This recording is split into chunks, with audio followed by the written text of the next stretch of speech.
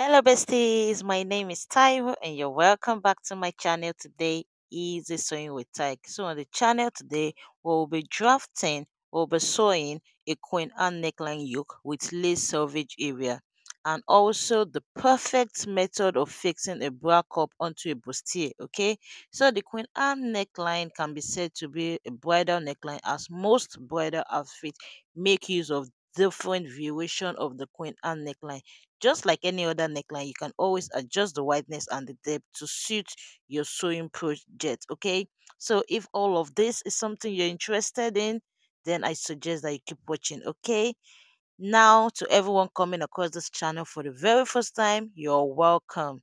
Thank you for stopping by. It's so good to have you here.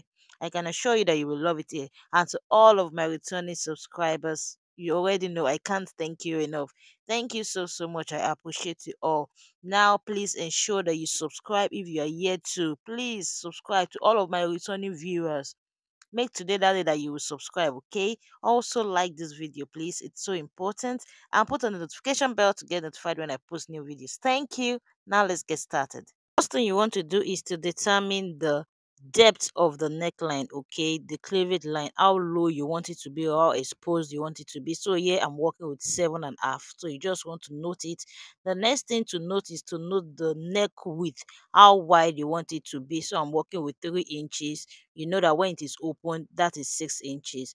So now the next thing you want to note is to note the break point. So there is what i mean by the break point. I'll be indicating it with a picture that you can see on your screen right now. So for the purpose of this, tutorial i'm working with five inches so i'm going to note that as well so you want to note all these three points. Now the next thing to do is to determine how wide you want it to be at that break point and today I am working with 4 inches so I'm just going to mark that as well. So now all you have to do is to connect these three points like so. So starting from the lower part, you want to go ahead and connect it like this. Just give it a sweetheart curve, okay? You can do it freehand or you can make use of your armhole curve. And for the upper part, you want to go ahead and connect it like so also. You can make use of your ruler if you want it just slanted, if you want it straight, or you can make use of your armhole curve as well to just give it a curve if you want it curvy. Now, because mine is going to be in form of, of a yoke, I want to replace that upper part with the selvage area of my lace. I want the edge to have scallop. I'm going to extend that my 5 inches line, that my break point line. I'm going to extend it all the way and just label out my yoke, okay? That is the place I'm going to be replacing with the selvage area of the lace fabric.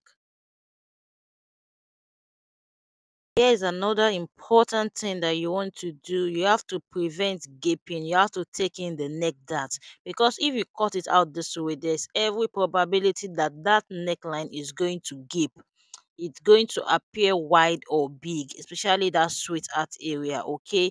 So here is what you want to do. So before you cut out your neckline, you just want to place your ruler this way diagonally from the from the corner that way and mm. you just want to go ahead and rule a straight line. So this line you can make it two inches or you can just extend it all the way to the chest line after which you just want to mark out half inch away from that line and then you want to connect it to the line that you've made before.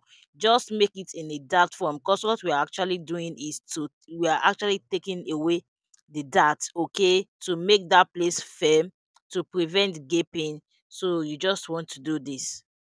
So there are two ways of taking out this neckline dart so but before i show you the second method which was the one i did eventually you want to make sure that you note where your yoke is starting from on your pattern or you just go ahead and measure it this way. This will guide you when you are trying when you are sewing. Now to the second method. Once you are done cutting out your bustier dart all you just want to do now is to change the direction of the line. Remember that was the line that we ruled earlier. You just want to slant it diagonally in such a way that it is going to end at the tip at the tip okay? You just want to do what i'm doing on the screen right now. After which you've changed the direction of the line. Then you can now measure out your half inch and you want to redraw your dart okay so that is what i'm going to do now and i'm going to close off the dart doing this i have successfully eliminated any gaping that might want to occur. So this is going to lay flat. It's not going to gape at all. We are done drafting the Queen Anne neckline. So now it's time to show you how to transfer this yoke to fabric how to use it to cut out the selvage area of the lace fabric to obtain that scallop edge so here is how you want to place your pattern. You're not going to place it this way, no, but you are going to tilt your pattern in such a way that it will align with that selvage area that way it will align with the selvage area of the lace fabric with those scallop when you are satisfied with what you have then you just go ahead and pin it this way then you cut it out. So i'll be cutting it out now but i will still be adding half inch to that lower part that way. The half inch that i'm going to use to join the yoke with the body okay? So i'm just going to go ahead and cut it out now. Now you can go ahead and arrange it this way to see how it's going to look after sewing okay? So you can see how beautiful it is already. This is what we'll, we would have when we are done sewing is my bustier pattern i've transferred it to fabric i've added half half inches where necessary and also that place where i marked on my pattern where the yoke is starting from. You want to make sure that you notch it on your fabric as well. This would make sewing the yoke easier. so before we move over to the sewing machine here is just a rough sketch showing you how the pattern would have been if we are not replacing the yoke with the lace scallop so we're fixing the cup first before proceeding to sewing the neckline. Okay, so to fix your cup, you want to make sure that you have joined your bodies, the bustier part. Make sure that you've joined it and notch it at strategic places, which is the underbust and the bust point. Before fixing the cup, you need to prep it. You need to make it appear fuller, okay? And to do that, you want to locate the midpoint by folding it into two that way. Then you just want to take the dart half inches that all the way to the midpoint all the way to the center okay? Now you can see the difference. You can see that the one that i've taken in the dart it pierced fuller than the other one. So i'm going to repeat the same process for the other side. Make sure to cut off the excess okay? So that it can lay flat. So personally i prefer to attach my cup to the lining and not on the main fabric especially when i'm using this method to fix my cup and for now this is the best method okay? So what you want to do is locate the midpoint that way on your bustier bodies the lining. Now match up the midpoint of the cup match it up to the under bust where you have notched for the under bust and you just want to stitch it down. Just run a few stitches okay using your sewing machine and adhere it all the way down to the bodice after which you want to stitch it at the side that falls to the center. That way you want to make sure that you stitch it at that side too. Make sure it is falling at the center and your cup is placed well.